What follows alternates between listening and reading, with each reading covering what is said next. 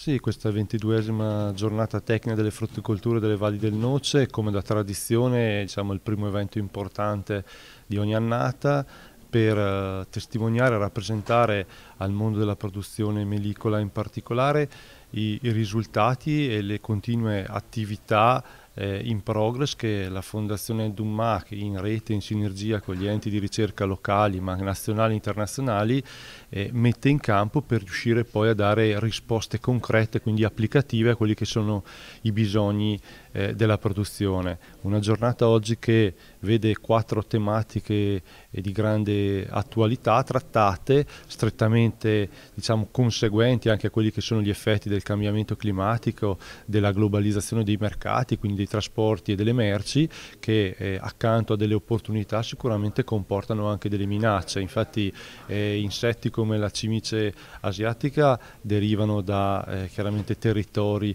ben lontani che però eh, sono diventate eh, una realtà, una problematica che il mondo agricolo deve affrontare, peraltro in un approccio di coltivazione sostenibile. Quindi